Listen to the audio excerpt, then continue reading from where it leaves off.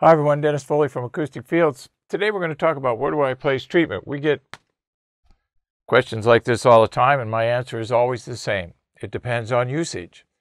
What you're going to do in the room really is the kind of the guidelines and the room dimensions and all that for, for the amount of treatment that you're going to put in the room. Remember our acronym TAP, type, amount, and position. What type of treatment are we going to use? How much are we going to use and where are we going to put it? Those are the three questions that we have to answer. We have two types of treatment, pressure and reflections. We have two types of problems that need certain treatments. Pressure treatment is different than reflections. Pressure is low frequency, reflections are middle and high frequencies, right?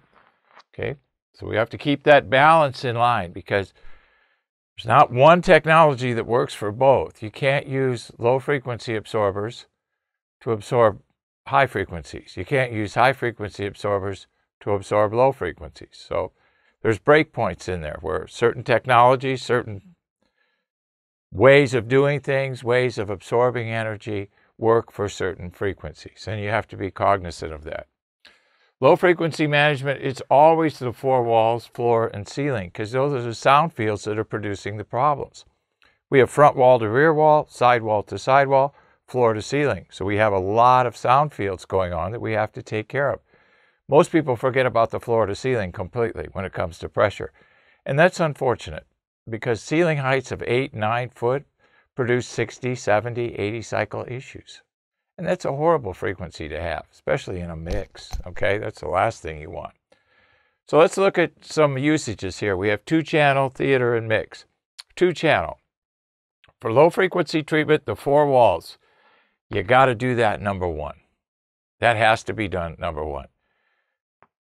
Two channel floor or ceiling pressure for low frequency, that could be a phase two. Most people don't want to do this because it involves treating the ceiling or the floor. Floor is easy with a platform. Ceiling is much more difficult, especially with the weight of low frequency absorption, okay? Two channel, we have the reflections on the four walls, floor and ceiling. So just like we have pressure, we have the reflections. Remember, pressure and reflections are two things. So there's a hierarchy of treatment. Diffusion is kind of the last thing, front and rear, in a two-channel room.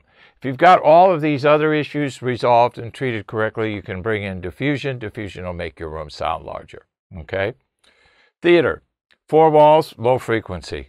Got to. So much more energy than most of these rooms can contain anyway with theater. I don't know when quantity became quality or the perception of quality, but that's how it goes sometimes in, in these things. I guess that's the basis for the loudness wars in, in, the recording world. So theater, we got the four walls, floor, ceiling. Then we got reflections, side, front walls. Diffusion in theaters, really rear wall and ceiling. Biggest benefit we found in the rooms that we've done. Placing diffusion on the ceiling, placing diffusion on the rear wall will open it up increase definition and resolution. So make the room sound larger. That's what you want with theaters, right? We want our small home theaters to sound like big theaters. Well, we want them to sound better because I've been in some of these big theaters, especially the ones in LA, and they sound horrible. High pressure levels, 120, 125 dB SPL. You can't hear anything. When there's an explosion, you can't hear the dialogue on the screen because the, the, the room loads from the low frequency energy and you can't hear the dialogue. So it's horrible. All right. Mixed rooms, low frequency, four walls, floor, ceiling, standard in all rooms because we've got those three sound fields, right? Okay. Then we need the reflections off the front and the side walls and the ceiling in mixed rooms. We have to be really careful with those because the time signatures of those reflections are, could be audible in our mix. And the diffusion on the rear wall. I work in a lot of the studios in Los Angeles, and those that produce a really consistent quality product all the time have diffusion in the rear wall of their mix room. Some have two-dimensional, some have one-dimensional. Once again, those are dependent on the distances involved, which type that you use. So where do I place treatment? Follow type, amount, position, tap. What type are you going to use after you identify either a pressure or a reflection issue? How, how much treatment? It's all about square footage when it comes to low frequency management and where you're going to place it. Hope this helps. Thank you. Thank you for watching this video, and if you liked it, please give us a thumbs up. We also have a newsletter that you can subscribe to. So please do that because we offer special price discounts to only those on our newsletter.